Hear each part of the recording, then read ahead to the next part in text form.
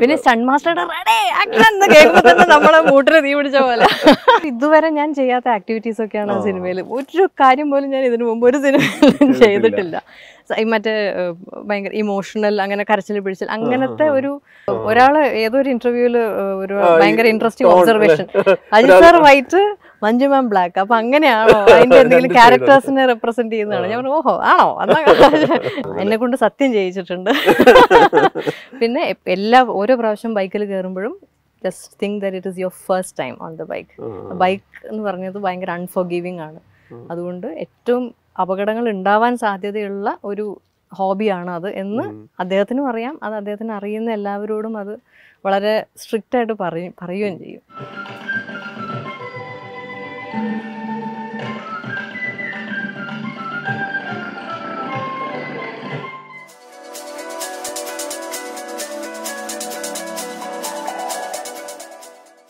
Manju വാര്യരാണ് Q സ്റ്റുഡിയോയിൽ സ്വാഗതം അപ്പോൾ രണ്ടായിരത്തി ഇരുപത്തി മൂന്നിൽ നമ്മൾ സംസാരിച്ചു തുടങ്ങുകയാണ്. നാല് വർഷത്തിന് ശേഷം പെർഫോമൻസിൽ ഡാൻസ് പെർഫോമൻസിലേക്ക് ഏകദേശം, വേദിയിലേക്ക് വരികയാണ്.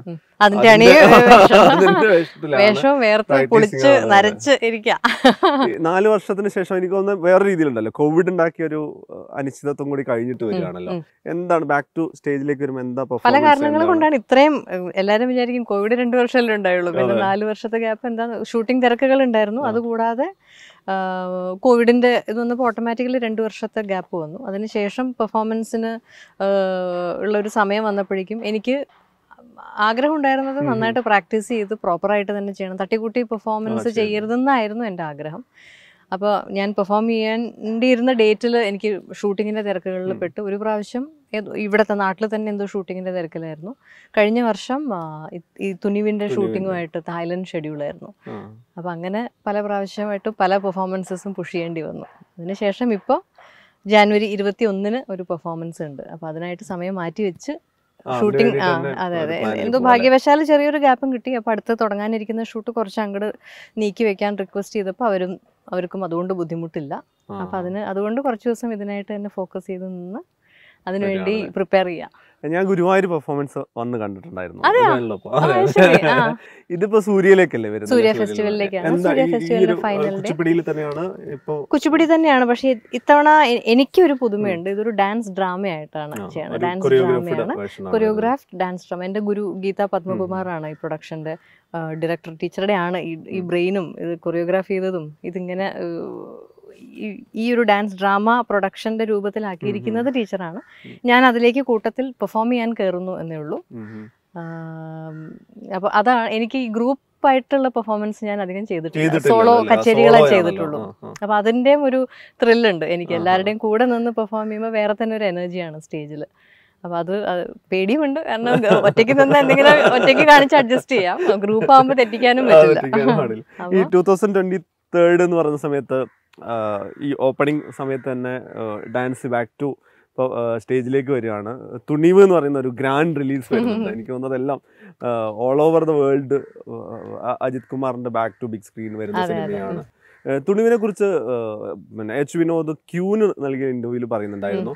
ആ, മഞ്ജു മാമിനെ ഞങ്ങൾ ആദ്യം പോയി കണ്ടു. അപ്പോൾ ആദ്യം വേറൊരു പിന്നെ ക്യാരക്ടറിന്റെ കാര്യം പറഞ്ഞു. അപ്പൊ അപ്പോൾ ഒരു ഞാൻ ഈ- ഒരു ടൈപ്പ് ഓഫ് റോൾസ് കുറച്ച് ചെയ്തു എന്ന് പറഞ്ഞിട്ടൊരു ബാക്ക് ടു അവർ വീണ്ടും ആലോചിച്ച സമയത്താണ് ഈ ഒരു ഷെയ്ഡുള്ള ക്യാരക്ടർ വന്നത്. നമ്മളിപ്പോ നമ്മളിപ്പോൾ ട്രെയിലറൊക്കെ കാണുന്ന സമയത്ത് ഒരു തോക്ക് എടുക്കുന്നത് മാത്രമല്ല എടുക്കാവുന്ന എല്ലാ കൈൻഡ് ഓഫ് മോട്ടർ ഗണ്ണും ഓൾമോസ്റ്റ് എല്ലാ കൈൻഡ് ഓഫ് ഗണ്ണും യൂസ് ചെയ്യുന്നുണ്ട്. അപ്പൊ അപ്പോൾ ഒരു എന്തായാലും ഒരു യുണീക്ക് എക്സ്പീരിയൻസ് ആയിരിക്കും. എന്താണ് വാട്ടർ ബോട്ട് തുണിവ്? തുണിവ് ആദ്യം ശരിയാണ്. ആദ്യം പറഞ്ഞിരുന്ന ഒരു കഥ. ഏകദേശം ഇത് തന്നെയായിരുന്നു. പക്ഷെ എന്റെ കഥാപാത്രത്തിന്റെ ഒരു ഘടനയൊക്കെ വേറെയായിരുന്നു. അപ്പോൾ ഒരു അങ്ങനെ സംസാരിച്ച് ഒരു കംഫർട്ട് ആയി കഴിഞ്ഞപ്പോൾ ഞാൻ ഇങ്ങനെ ചുമ്മാ അപ്പോൾ ഇങ്ങനെയാണെങ്കിലും ഇങ്ങനെയാണെങ്കിൽ കുറച്ചും കൂടെ ഇഷ്ടമായേനെ എനിക്ക് ക്യാരക്ടർ എന്നുള്ളത് എന്റെ വളരെ ഒരു എന്താ പറയുക നിർദോഷമായ ഒരു സജഷൻ പോലെ ഒരു ഒരു അഭിപ്രായം പോലെ പറഞ്ഞതാണ് അപ്പോഴാണ് അദ്ദേഹം ആ അത് കൊള്ളാലോ ആക്ച്വലി അത് ഞാൻ ആലോചിച്ചില്ല. എന്ന് പറഞ്ഞിട്ട് അത് നോക്കട്ടെ ഇത് അത് ഈ സ്ക്രിപ്റ്റിൽ എങ്ങനെയെങ്കിലും ഇൻകോർപ്പറേറ്റ് ചെയ്യാൻ പറ്റുമോ എന്ന് നോക്കട്ടെ എന്ന് പറഞ്ഞിട്ട് കുറച്ച് ദിവസം കഴിഞ്ഞിട്ട് ഞാൻ I get back to you എന്ന് ഉം. പറഞ്ഞ് കുറച്ച് ദിവസം കഴിഞ്ഞിട്ട് ആ അതേ സ്ക്രിപ്റ്റ് തന്നെ എന്റെ ക്യാരക്ടർ കുറച്ചും കൂടി മനോഹരമാക്കിയിട്ട്. അപ്പോൾ എനിക്ക് ഭയങ്കര സന്തോഷം തോന്നി. കാരണം അവർ സിനിമ ചെയ്ത് തെളിയിച്ചിട്ടുള്ള ആളുകളാണ്. അപ്പൊ അപ്പോൾ നമ്മൾ അഭിപ്രായം പറയുമ്പോഴും അതിനോടൊരു ഓപ്പൺനെസ് ഒരു ഭയങ്കര റിസെപ്റ്റീവായിട്ട് ആയിട്ട് അതിനെയൊക്കെ കണ്ടപ്പോൾ കാണുന്നത് കണ്ടപ്പോൾ വലിയ സന്തോഷമായി അപ്പോൾ കുറച്ചും കൂടി എക്സൈറ്റഡ് ആയി. ഞാൻ അദ്ദേഹത്തിന്റെ സിനിമകൾ അല്ലെങ്കിലും ഞാൻ കണ്ട് ഇഷ്ടപ്പെട്ടിട്ടുള്ളതാണ്. പിന്നെ ചതുരംഗ വേട്ടയൊക്കെ. സതുരംഗവേട്ടയൊക്കെ അപ്പൊ അദ്ദേഹത്തിന്റെ കോൾ വന്നപ്പോഴേ എനിക്ക് ഒരു ഒരു സന്തോഷം ഉണ്ടായിരുന്നു അസുരൻ കഴിഞ്ഞിട്ട് കുറച്ച് വ്യത്യസ്തമായിട്ടുള്ള ഒരു പശ്ചാത്തലത്തിലുള്ള ഒരു കഥയും കൂടിയാണ് കൂടിയാണിത്. അപ്പൊ ട്രെയിലർ കാണുമ്പോൾ തന്നെ ഞാൻ ഒരു ഔട്ട് ആൻഡ് ഔട്ട് ആക്ഷൻ ഫീലിലാണ് വിനോദൻ വിനോദ് എന്ന് പറയുന്നത് ഇതൊരു റൊമാന്റിക് പെയർ അല്ല ആക്ഷൻ പെയർ ആണ്. ഒരു വലിയൊരു ക്രൈമിൽ അസോസിയേറ്റ് ചെയ്യുന്ന ഒരു സംഗതിയാണെന്നാണ് ഞാൻ തമിഴ് ഇന്റർവ്യൂ ഒക്കെ കണ്ടതുകൊണ്ട് ഒരുപാട് സ്പോയിലർ പറയില്ല എന്ന് എനിക്കറിയാം. എന്ത് തൊട്ടാലും സ്പോയിലർ ആണ് പക്ഷെ ഒരു ആക്ഷൻ ഡ്രിവൺ റോൾ ചെയ്യുമ്പോൾ എനിക്കൊന്നൊരു ഒരു ഗൺ ഷോട്ട് തന്നെ ക്യാരക്ടർ ചെയ്യുന്ന സമയത്ത് ഇത് ഒരു ആക്ടർ ഇന്ന് പോയിട്ട് ഈ കണ്ണെടുക്കുക എന്നുള്ളത് തോന്നണല്ലോ തോന്നി- അങ്ങനെ ഒരു തോന്നിപ്പിക്കണം. മേക്ക് ഉണ്ടല്ലോ. എന്താണ് ഒരു ആക്ഷൻ ഡ്രിവൺ റോൾ ചെയ്യുന്ന സമയത്തുള്ള ഒരു പോസിറ്റീവ് വൈബും അല്ലെങ്കിൽ ഭയങ്കര അഡ്വാന്റേജും പോസിറ്റീവ് വൈബ് എന്ന് പറഞ്ഞാൽ അതിൽ ചാലഞ്ച് തന്നെയാണ്. അത് ചാലഞ്ച് തന്നെ അതൊരു എക്സ അതാണ് അതിന്റെ ഏറ്റവും എക്സൈറ്റിംഗ് ആയിട്ടുള്ള പാട്ട്. പ്രത്യേകിച്ച് ആക്ഷൻ സിനിമകൾ ചെയ്ത് തെളിഞ്ഞവരാണ് അവർ അപ്പൊ അതിന്റെ ഇടയിൽ നമ്മൾ മറ്റേ തമാശയായിട്ട് പോയി നിൽക്കരുതല്ലോ അപ്പൊ അതുകൊണ്ട് തന്നെ പ്രോപ്പറായിട്ട് എല്ലാവരോടും സാർ അടക്കമുള്ള ആളുകളോട് ഇത് എങ്ങനെയാണ് ഇത് പിടി ഇവരെങ്ങനെയാണ് ചെയ്യുന്നത് എന്ന് ശ്രദ്ധിക്കാനും ഞാൻ അവർ ഷോട്ട് എടുക്കുമ്പോഴും ഞാനിങ്ങനെ നോക്കി നിൽക്കുമായിരുന്നു.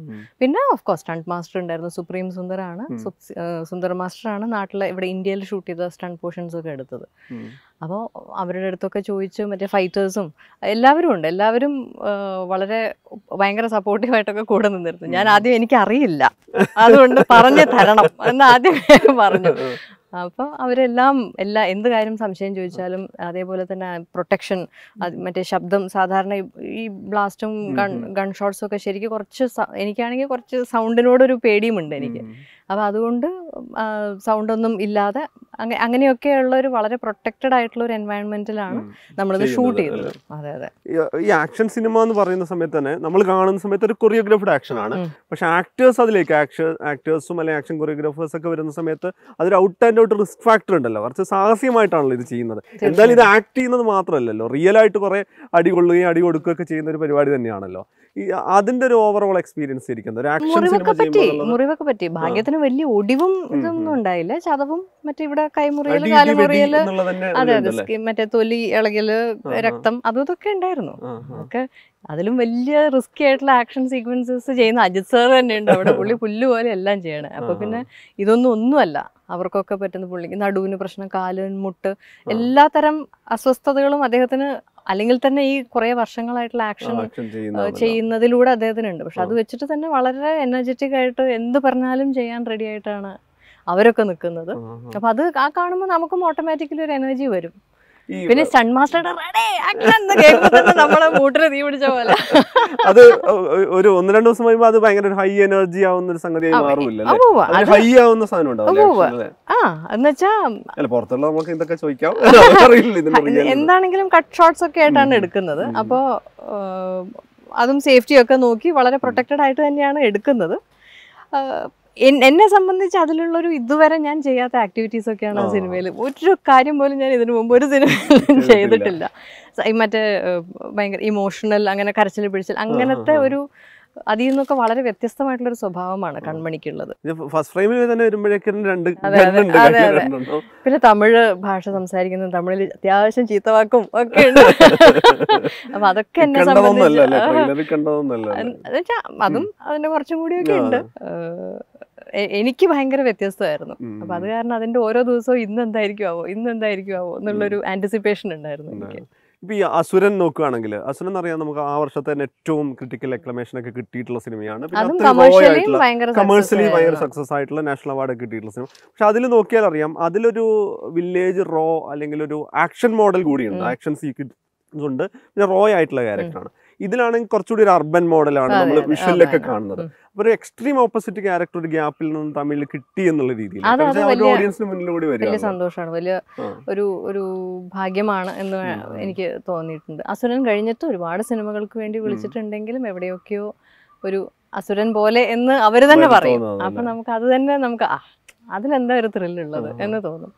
അപ്പോൾ ഇങ്ങനെ സാരില്ല കുറച്ച് കാത്തിരുന്നാൽ ഇപ്പോൾ അതുവരെ മലയാളത്തിൽ ചെയ്യാം. തമിഴിൽ പ്രത്യേകിച്ച് അടുത്തത് ചെയ്യുമ്പോൾ അതേപോലെ രണ്ടാമതും ഒരു സിനിമ അതേപോലെ ചെയ്താൽ.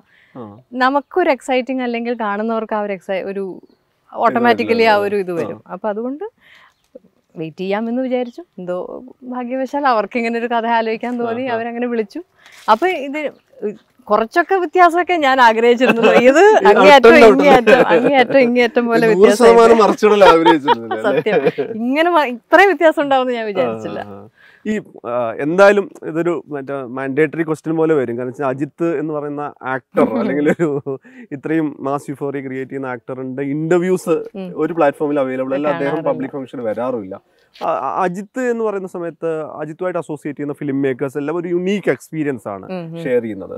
As a human being actor എന്നുള്ളത്. എന്തായാലും ഇതൊരു ആക്ഷൻ ഡ്രിവൺ ഇതുകൂടിയാണ് അതൊരു കോ ആക്ടർ എന്നുള്ള രീതിയിൽ എങ്ങനെയാണ് അത് എക്സ്പീരിയൻസ് ചെയ്തിട്ടുള്ളത്? എനിക്ക് തോന്നിയിട്ടുള്ളത് ഈ എല്ലാവരും അജിത് സാർ എന്ന ആക്ടറെക്കാളും ഉപരി അദ്ദേഹം എന്ന വ്യക്തിയെയാണ് എല്ലാവരെയും ഭയങ്കരമായിട്ട് എന്താ പറയുക സ്പീച്ച്ലെസ് ആക്കണത്. അത് അദ്ദേഹം എല്ലാവരോടും പെരുമാറുന്ന രീതിയും ഞാൻ കേട്ടിട്ടുണ്ട് അതിനു മുമ്പേ. ശാലിനിയായിട്ട് ഇടയ്ക്ക് ഞങ്ങൾ കോൺവെർസേഷൻ ഉണ്ടാവാറുണ്ട് ഓവർ ടെക്സ്റ്റ് അപ്പോൾ സാറിനെ ഞാൻ കണ്ടിട്ടുമില്ല കേട്ടിട്ടുമില്ല ഐ മീൻ സംസാരിച്ചിട്ടുമില്ല. അപ്പോൾ ഈ ഷൂട്ടിങ്ങിന്റെ സെറ്റിലാണ് അജിത് സാറിനെ ആദ്യമായിട്ട് കാണുന്നത്. അപ്പോൾ ഞാനിങ്ങനെ പറഞ്ഞു കേട്ടിട്ടുണ്ട് ഭയങ്കര നല്ല ആളാണ് എല്ലാവരോടും നന്നായിട്ട് പെരുമാറും എന്നുള്ളതൊക്കെ പറഞ്ഞു കേട്ട് അദ്ദേഹത്തിനെ കുറിച്ച് കേട്ടിട്ടുണ്ട്. പക്ഷെ നേരിട്ട് കണ്ടു കഴിഞ്ഞപ്പോൾ നമ്മൾ അയ്യോ ഇദ്ദേഹം എന്താ ഇങ്ങനെ?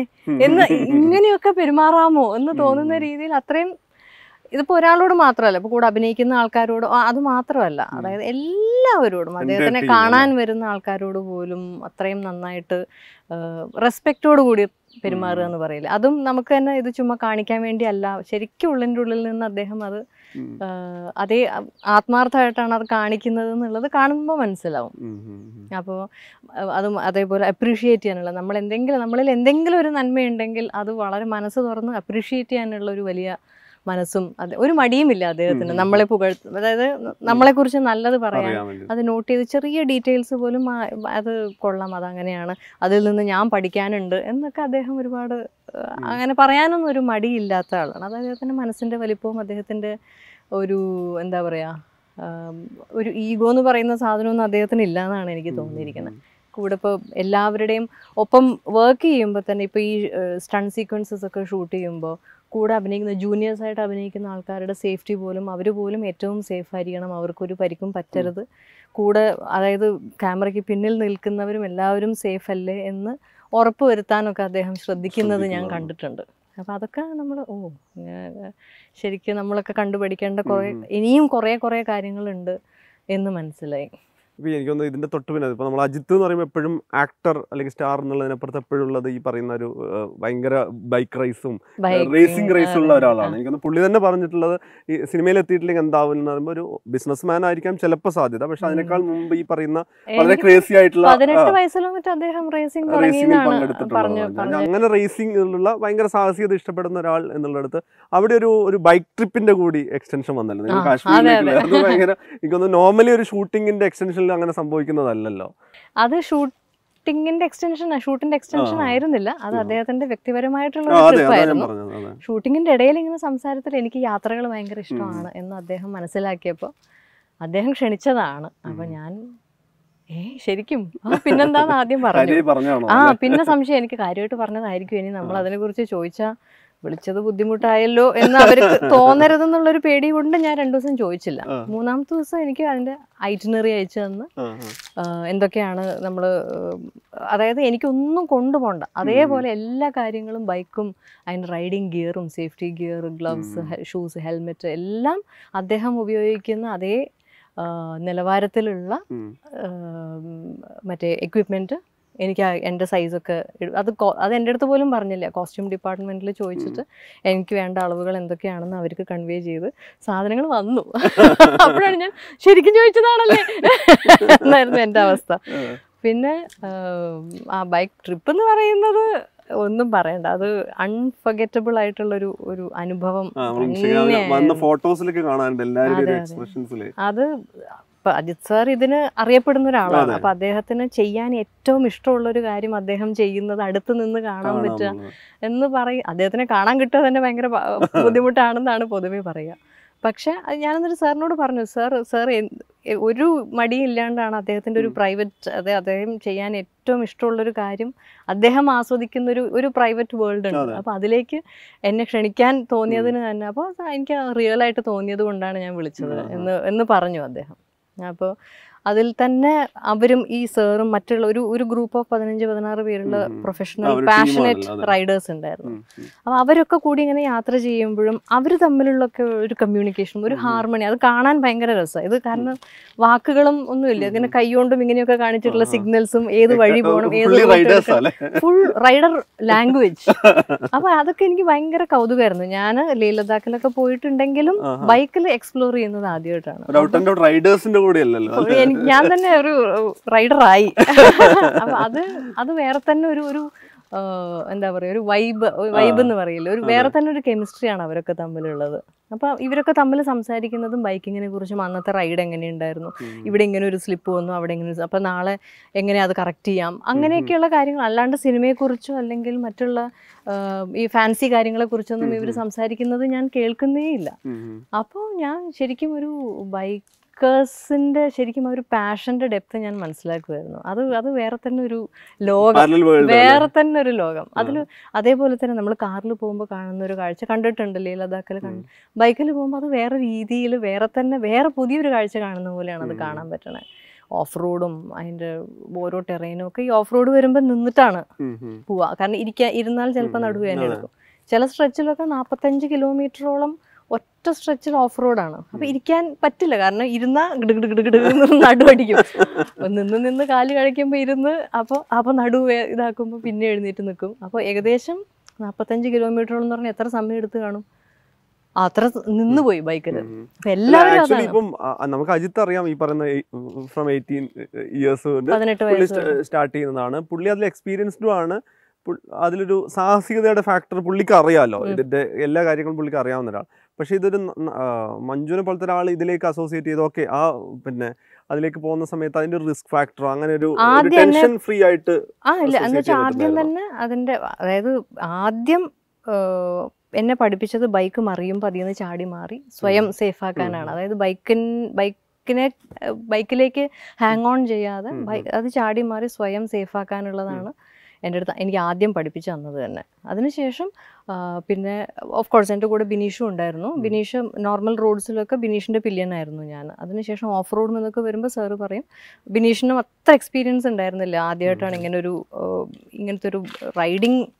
എക്സ്പെഡീഷനിൽ പോണത്. അപ്പോൾ ഓഫ് റോഡും ഇതൊക്കെ വരുമ്പോൾ സാറ് സാറിന്റെ പില്യൻ ആയിക്കോളാൻ പറയും അതായത് സേഫ് ആയിട്ട് കൊണ്ടുപോകാൻ വേണ്ടിയിട്ട്. അതേപോലെ ഇവർക്കൊക്കെ വേണമെങ്കിൽ വെച്ചടിച്ച് അവനവന്റെ സ്പീഡിൽ പോകാം പക്ഷെ ഞാനുള്ള ബൈക്ക് മുമ്പിലും പിന്നിലും രണ്ടുപേരും നിന്ന് വളരെ പ്രൊട്ടക്റ്റഡ് ആക്കിയിട്ട് ഞങ്ങൾക്ക് വഴി തെറ്റുന്നില്ല എന്ന് മേക്ക് ഷുവർ ചെയ്ത് നമ്മളെയും കൂടി എന്റെ കൂട്ടത്തിൽ അങ്ങ് ചേർക്കുമായിരുന്നു അത് തന്നെയാണ് അതായത് ഈ ബൈക്കിംഗ് ഇതിൽ മാത്രമല്ല ഷൂട്ടിംഗ് സെറ്റിലും അത് തന്നെയാണ് അദ്ദേഹത്തിന്റെ ഒരു രീതി എന്ന് പറയുന്നത്. അദ്ദേഹം നമ്മളെ മാറ്റി നിർത്തുക അല്ലെങ്കിൽ അവർക്ക് അറിയുന്ന കാര്യം അവർ നന്നായിട്ട് ചെയ്ത് അങ്ങ് പോകുന്നു അതല്ല. അതായത് നമ്മൾക്കും ആത്മാർത്ഥമായിട്ട് നമ്മളും അതിൽ ഭാഗമാവണം നമ്മളും അത് ആസ്വദിക്കണം എന്ന് അദ്ദേഹവും സിൻസിയറായിട്ട് ആഗ്രഹിക്കും. അപ്പോൾ അതുകൊണ്ട് തന്നെ എനിക്ക് എന്റെ ജീവിതത്തിൽ മറക്കാനാവാത്തൊരു അനുഭവം തിരിച്ചു വന്നതിന് ശേഷം ഞാൻ ബൈക്കിംഗ് സീരിയസ് ആയിട്ട് എടുക്കാനും സോളോ റൈഡ്?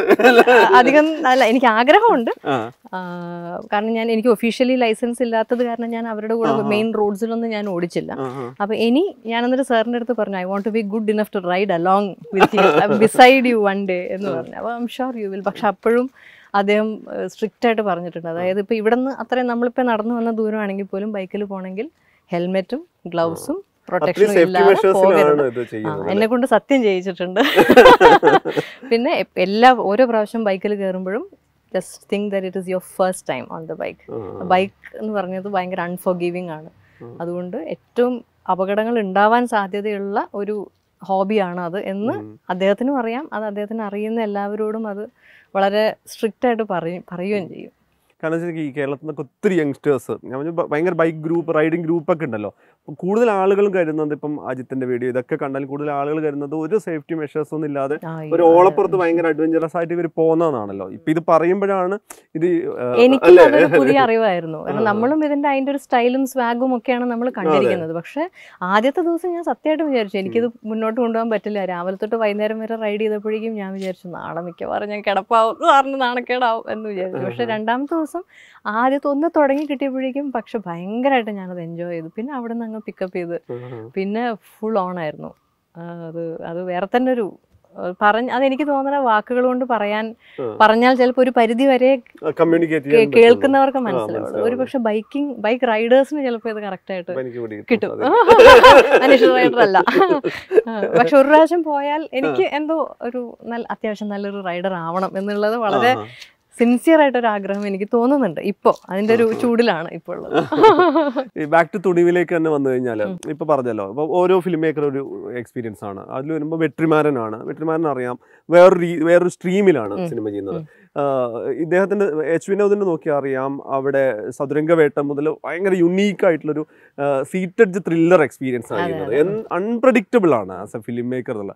അദ്ദേഹത്തിന്റെ ഇന്റർവ്യൂസ് പോലും റീസെന്റ്ലി ആണ് നമ്മൾ കണ്ടു തുടങ്ങുന്നത്. ആസ് എ ഫിലിം മേക്കർ എന്തായിരുന്നു? ഒരു ഫിലിം മേക്കർ പെർസ്പെക്റ്റീവ് എന്തായിരുന്നു ഒരു തുണിവിന്റെ തുണിവിന്റെ എക്സ്പീരിയൻസ് തുണിവ് എനിക്ക് തോന്നിയിട്ടുള്ളത് വിനോദ് സാറ് ഈ സിനിമയെക്കുറിച്ചല്ലാതെ മറ്റൊന്നും സംസാരിച്ച് ഞാൻ കണ്ടിട്ടില്ല. അപ്പൊ അതായത് മറ്റു വിഷയങ്ങളെ കുറിച്ച് അങ്ങനെ ജനറൽ ആയിട്ടുള്ള ഒരു സ്മോൾ ടോക്സ് ഒക്കെ ഉണ്ടല്ലോ എന്തൊക്കെയാണ് വിശേഷം അങ്ങനെയാണ് വീട്ടിൽ എന്തൊക്കെയാണ്. എന്റെ അടുത്ത് ഇന്നേ വരെ വേറെ ഒന്നും ചോദിച്ചിട്ട് എന്റെ കഥാപാത്രത്തിനെ കുറിച്ചും എന്റെ പെർഫോമൻസിന് എന്തൊക്കെ നമുക്ക് ചെയ്യാൻ പറ്റും എന്തൊക്കെ ചെയ്യണം ഇതിനു വേണ്ടി ശ്രദ്ധിക്കേണ്ട കാര്യങ്ങൾ എന്തൊക്കെയാണെന്നുള്ളതിനെ സംബന്ധിച്ചല്ലാതെ. അല്ലാതെ വേറെ ഒന്നിലും അദ്ദേഹത്തിന് ഫോക്കസ് ഫുൾ ഇതിലാണ്. അതായത് ഇങ്ങനെ ഷൂ നമ്മളൊക്കെ ഇരുന്ന് വർത്താനം പറയുമ്പോൾ അദ്ദേഹം ഇങ്ങനെ ഇങ്ങനെ ചിന്തിച്ചുകൊണ്ടിരിക്കുമായിരിക്കും അല്ലെങ്കിൽ അസിസ്റ്റൻസുമായിട്ട് ഡിസ്കസ് ചെയ്തുകൊണ്ടിരിക്കുമായിരിക്കും ഷോർട്ട് ഡി ഒ പി ആയിട്ട് ഡിസ്കസ് ചെയ്തുകൊണ്ടിരിക്കുമായിരിക്കും അപ്പോൾ ഫുൾ ഭയങ്കര ഫോക്കസ്ഡ് ആയിട്ട് എനിക്ക് തോന്നിയിട്ടുണ്ട്. പിന്നെ ഇത് അതല്ലെങ്കിൽ പോലും അദ്ദേഹത്തിന് ഫുൾ ചിന്തയും അദ്ദേഹം ജീവിക്കുന്നതും സിനിമയിലാണെന്നാണ് എനിക്ക് അതെ അതെ. എനിക്ക് അങ്ങനെയാണ് തോന്നുന്നത് വളരെ അധികം സംസാരിക്കാത്ത ഭയങ്കര ടു ദ പോയിന്റ് മാത്രം സംസാരിക്കും അദ്ദേഹത്തിന്റെ ഇന്റർവ്യൂസ് ഒക്കെ ഞാനിപ്പോ കണ്ടു. സംസാരിച്ച് തുടങ്ങുമ്പോൾ ഭയങ്കര ബ്യൂട്ടിഫുൾ ആയിട്ടാണ് സംസാരിക്കുന്നത് നമ്മളോട് സംസാരിച്ചപ്പോഴും അതാണ്. എത്ര സമയം വേണമെങ്കിലും സംസാരിക്കാം എന്നുള്ള രീതിയിൽ. അതെ അതെ. കാരണം അദ്ദേഹം ഓപ്പൺ അപ്പ് ചെയ്യാൻ നല്ല സമയം എടുക്കുന്ന ആളാണെന്ന് എനിക്ക് തോന്നി. പക്ഷെ വർക്കിൽ ഞാനതാ പറഞ്ഞത് അദ്ദേഹത്തിന്റെ സിനിമ അദ്ദേഹത്തിന് വേണ്ടി സംസാരിച്ചോളും എന്നാണ് അദ്ദേഹം അദ്ദേഹം വിശ്വസിക്കുന്നതെന്ന് എനിക്ക് തോന്നുന്നു ഈ എനിക്ക് തോന്നുന്നത് ഈ ട്രെയിലർ ഡീകോഡിംഗ് എന്നൊക്കെ പറഞ്ഞിട്ട് നേരത്തെ വരുന്നത്. അത് ഉറപ്പായും അതിലുള്ള അഭിനയിച്ച ആർക്കും അറിയാൻ പറ്റില്ല. എന്നാൽ പോലും ഇതൊരു പോസിറ്റീവ് ഷെയ്ഡിൽ വന്ന് നെഗറ്റീവ് ഷെയ്ഡിലേക്ക് വരുന്നതാണ്. കുറേ പ്രഡിക്ഷൻസും സംഗതിയൊക്കെ. വരുന്നുണ്ടല്ലോ. ഇത്തരം ഫീഡ്ബാക്ക് ഒരു പ്രീ റിലീസ് ഏതെങ്കിലും തരത്തിൽ കേൾക്കുകയോ അല്ലെങ്കിൽ അതിന് അതെന്തായിരിക്കും എന്നൊക്കെ നോക്കാറൊക്കെ പലരും ചോദി ചോദ്യങ്ങളാണ് എല്ലാവർക്കും. ഇത് നിങ്ങൾ ഓപ്പോസിറ്റ് ഓപ്പോസിറ്റ് ആണോ. ഒരാൾ ഏതൊരു ഇന്റർവ്യൂൽ ഒരു ആ, ഈ ഭയങ്കര interesting observation Ajith sir white Manju ma'am black അപ്പൊ അങ്ങനെയാണോ? അതിന്റെ എന്തെങ്കിലും ക്യാരക്ടേഴ്സിനെ റെപ്രസെന്റ് ചെയ്യുന്നതാണ്. ഞാൻ പറഞ്ഞു ഓഹോ ആണോ? എന്നാ ചിലപ്പോ എന്നൊക്കെ പറഞ്ഞു. പക്ഷെ അത് ഓരോരുത്തർ ഓരോ തരത്തിലാണ് അതിനെ കാണുന്നത്. അതിനെ കുറിച്ച് കൃത്യമായിട്ടുള്ള വിവരങ്ങൾ അറിയാത്തത് കൊണ്ടുള്ള ഒരു ഒരു ഒരു. വെപ്രാളമാണ് അത്. ക്യൂരിയോസിറ്റി ആണ്. പക്ഷെ എന്നാലും കുറച്ച് ദിവസം കൂടെ കഴിഞ്ഞാൽ സിനിമ കാണാലോ? ക്ഷമയോടെ കാത്തിരിക്കാനാണ് ഞാൻ പറയാ. ഇതെന്തായാലും ഒരു എന്റർടൈനിങ് സിനിമ ആയിരിക്കണം. എന്നാണ് ഞങ്ങളുടെയൊക്കെ പ്രതീക്ഷ. അത് പക്ഷേ at the end of the day it's an out and out and out Ajith Kumar action flick അത് ഒരിക്കലും നിഷേധിക്കാൻ പറ്റില്ല. അദ്ദേഹത്തിന്റെ ഫുൾ ഓൺ ഫുൾ ഓൺ അദ്ദേഹം നിറഞ്ഞു നിൽക്കുന്ന ഒരു ആക്ഷൻ ഫ്ലിക്കാണ് അത് അതാണ് പ്രേക്ഷകർക്ക് കാണാനും ഇഷ്ടം എന്നാണ് ഇതിനു മുമ്പുള്ള സിനിമകളുടെ പെർഫോമൻസസ് തെളിയിച്ചിരിക്കുന്നത്. അപ്പോൾ ഇതിന് പ്രത്യേകിച്ച് എച്ച് വിനോദിനെ പോലെ ഒരു ബ്രില്യന്റ് ഡയറക്ടറിന്റെ ഒരു ഗൈഡൻസും കൂടിയുള്ള സ്ഥിതിക്ക് ആളുകൾക്ക് ഇത് കണ്ട് ഇഷ്ടപ്പെടാനാണ് സാധ്യത. ഇതിൽ തന്നെ ഇപ്പം തായ്ലൻഡിലാണ് ജോയിൻ ചെയ്തതെന്ന് പറഞ്ഞു. ഇന്ത്യയിൽ തന്നെ പല ലൊക്കേഷൻസ് ഉണ്ടല്ലോ. ഭയങ്കര വേരിയസ് ലൊക്കേഷൻ ഒന്ന് നേരത്തെ ഇത്രയും ലൊക്കേഷൻ കണക്ട് ചെയ്തൊരു സിനിമയും ചെയ്തിട്ടുണ്ടാവല്ലോ അല്ലേ? ഇങ്ങനെ ഇന്ത്യ ഇതിൽ എനിക്ക് ഹൈദരാബാദിൽ അതെന്ന് വെച്ചാൽ തായ്ലൻഡ് ആ തായ്ലൻഡിലൊക്കെ ഞാൻ ആദ്യമായിട്ടാണ് ഷൂട്ട് ചെയ്യാണ്. ഇതിൽ നാട്ടിലെ പോർഷൻസിൽ എനിക്ക് വർക്ക് വളരെ കുറവായിരുന്നു. ഹൈദരാബാദിലും ചെന്നൈയിലും കുറച്ച് കുറച്ച് വർക്ക് ഉണ്ടായിരുന്നുള്ളൂ. എന്റെ വലിയ പോർഷൻസ് അവിടെയായിരുന്നു ഷൂട്ട് ചെയ്തത്. അതെനിക്ക് ആദ്യമായിട്ടാണ് ആ സിനിമയുടെ ഒരു സിനിമയിൽ ചെയ്തിരിക്കുന്ന എല്ലാം എനിക്ക് ആദ്യമായിട്ടാണ് ഈ തുണി ഒരു യുണീക്ക് എക്സ്പീരിയൻസ് ആണെന്ന് പറഞ്ഞു. യുണീക്ക് എക്സ്പീരിയൻസ് വെച്ചാൽ എല്ലാം ഫ്രഷ് ഒരു ആസ് എൻ ആക്ടർ പലതും പുതുതായിട്ട് അപ്രോച്ച് ചെയ്യുന്നു പുതുതായി ട്രൈ ഔട്ട് ചെയ്യുന്നു ഒരു മഞ്ജുവാരൻ നിന്നാൻ ഡാസ് എന്ന് പറയുന്ന ഒരു ത്രൂ ഔട്ട് ഒരു എക്സ്ട്രീം ആക്ഷൻ എക്സ്ട്രീം വയലൻസ് സിനിമകൾ കൂടി ഒരു പക്ഷെ നമുക്ക് എക്സ്പെക്ട് ചെയ്യാവുന്ന തരത്തിലേക്ക് ഒരു ഒരു എന്താ പറയുക ഒരു പ്രാക്ടീസിങ് മൊമെന്റ് ആയിട്ട് തുണിവ് മാറുന്നുണ്ടോ? അത് ഞാൻ ആക്ച്വലി ഇത് കണ്ടിട്ട് ആളുകൾ എന്ത് പറയുന്നു എന്നറിയാൻ ഞാൻ ഒരു എനിക്ക് ചെറിയൊരു ആകാംക്ഷയുണ്ട്. കാരണം ഇത് നമുക്ക് അത് എനിക്ക് ട്രെയിലർ ഇറങ്ങുമ്പോൾ തന്നെ നമ്മുടെ സുഹൃത്തുക്കളെ എന്ത് പറയും എന്നുള്ളതായിരുന്നു. കാരണം എന്തുണ്ടെങ്കിലും മുഖത്ത് നോക്കി ബ്രൂട്ടലായിട്ട് ഓണസ്റ്റ് ആയിട്ട് പറയുന്ന സുഹൃത്തുക്കൾ എനിക്കുണ്ട്. അപ്പൊ അവരെന്ത് പറയും എന്നുള്ളത് എനിക്ക് നല്ല പേടിയുണ്ടായിരുന്നു. പക്ഷെ അവർക്കൊക്കെ ഇഷ്ടപ്പെട്ടു. കാണാൻ കുഴപ്പമൊന്നുമില്ല എന്നാണ് പറഞ്ഞത്. അപ്പോൾ നോക്കാം. സിനിമ കണ്ടിട്ട് പ്രേക്ഷകർ എന്ത് പറയണു എന്നുള്ളത് അറിയണം എനിക്ക്. ഒരു കോമൺ എന്റെ ഒരു പേഴ്സണൽ ഡൗട്ടിൽ ചോദിക്കുകയാണ്. ഇപ്പം നമ്മളൊരു വയലൻസ് പോർട്രയിൽ വരുന്ന സമയത്ത് ഇപ്പോൾ ഒരാളെ ഒരു ഒരു ആക്ടർ പോയിട്ട് ഒരാളെ കുത്തിക്കൊല്ലുന്ന സീൻ അല്ലെങ്കിൽ കഴുത്ത് മുറിക്കുന്ന സീൻ അങ്ങനെ കുറേ വയലൻസിന്റെ പല പോർട്രയിൽ ഉണ്ടാവല്ലോ. ഗൺ ഷോട്ട് വരുന്ന സമയത്ത്. അത് ഒരു പിന്നെ പെർഫോമൻസിലേക്ക് ഒരു പേഴ്സണലി എടുക്കുന്ന ഒരു ഇത് എങ്ങനെയാണ് അതിനെടുക്കുന്ന ഒരു എഫേർട്ട് ഇപ്പോൾ അതൊരു ഗൺ ഷോട്ടാണ് കാരണം ഇത്രയും വലിയൊരു വലിയ രീതിയിലുള്ള ഒരു. ബ്ലാസ്റ്റ് ചെയ്യുന്ന രീതിയിലുള്ള ഒരു ഗൺ ഷോട്ട് ഇതിൽ കാണാനുണ്ട് ട്രെയിലറിൽ ഉറപ്പായി ഇതിന്റെയൊക്കെ എക്സ്റ്റൻഷൻ ആയിരിക്കുമല്ലോ. സ്ക്രീനിൽ വരിക. പേഴ്സണലി ആസ് എൻ ആക്ടർ ഇത്തരം ഷോട്ടൊക്കെ എങ്ങനെയാണ് അങ്ങനെ ഞാൻ ചിന്തിക്കാറില്ല. അത് ആ സിനിമയുടെ ഒരു മൂഡും അതിന്റെ കഥാപാത്രങ്ങളുടെ സ്വഭാവവും ഒക്കെ അങ്ങനെയാണ്. അപ്പോൾ അവരങ്ങനെ റിയാക്ട് ചെയ്യുന്നതിനൊരു കാരണം ഉണ്ടാവും ഉണ്ടാവുമല്ലോ. നമ്മൾ വേറെ ഇതിന്റെ അരിവാൾ വെച്ചിട്ടാണ്. അപ്പൊ ഓരോ കഥാപാത്രത്തിനും അതിന്റെതായിട്ടുള്ള കാരണം ഉണ്ടാവും അത് ചെയ്യാൻ. അപ്പൊ അതുകൊണ്ട് അത് സന്തോഷത്തോടെ ചെയ്യുന്നു അത്രേ ഉള്ളൂ. അത്. വൃത്തികേടാവരുത് എന്നുള്ളൊരു ഒരു ഉദ്ദേശത്തോടെ നമ്മൾ ചെയ്യണം. അങ്ങനെ പേഴ്സണൽ ആയിട്ട് എടുത്ത് അത് ചെയ്യില്ല അങ്ങനെയൊന്നും ഞാൻ ആലോചിക്കാറില്ല. ആയിഷ കൂടി വരികയാണ്. ഐഷയുടെ എനിക്ക് തോന്നുന്നത് പിന്നെ ട്രെയിലറിൽ ഒരു ബേസ്ഡ് ഓൺ ട്രൂ ഇവന്റ്സ് എ- എന്തെങ്കിലും തരത്തിൽ അത് കേരളത്തിന് കണക്ട് ചെയ്യാവുന്ന ഒരു കേരളത്തിന് കണക്ട് ചെയ്യാവുന്നതാണ്. ഇത് നമുക്ക് എല്ലാവർക്കും അറിയുന്ന. ഒരാളുടെ ജീവിതത്തിൽ സംഭവിച്ചിട്ടുള്ള ഒരു അവരുടെ ജീവിതത്തിലെ ഒരു ഏടാണ് ഈ സിനിമയുടെ പ്രധാന കഥയുടെ ഒരു പ്രധാന തന്തു എന്ന് പറയണത്. അപ്പൊ അത് ശരിക്കും സിനിമയുടെ അവസാനം നമ്മൾ കാണി റിവീൽ ചെയ്യുന്നുണ്ട്. ഇത് ആളാരാണെന്നും ഒക്കെ. അപ്പൊ അതിന് അതും ഞങ്ങളൊരു സസ്പെൻസ് അത് വെച്ചിരിക്കുക ഒരു ഒരു നമുക്ക് എല്ലാവർക്കും കണ്ടും കേട്ടും അറിയുന്ന ഒരു കലാരംഗത്ത് തന്നെയുള്ള ഒരാളുടെ ജീവിതത്തിൽ സംഭവിച്ചിട്ടുള്ള റിയൽ ലൈഫ് ഇൻസിഡന്റ് ആണ്. ഇത് അത് എന്റെ നല്ലൊരു പോർഷൻ ഷൂട്ട് ചെയ്തത് ഗൾഫിലാണല്ലോ ഒരു തൊണ്ണൂറ്റിയെട്ട് ശതമാനം. അല്ലേ? അപ്പൊ അതിൽ സമയത്ത് ആ സമയത്ത് വാർത്തയൊക്കെ ഉണ്ടായിരുന്നു മഞ്ജുവാരുടെ സിനിമയ്ക്ക് വേണ്ടി റോഡൊക്കെ അടച്ചു വെച്ചിരിക്കുന്നു.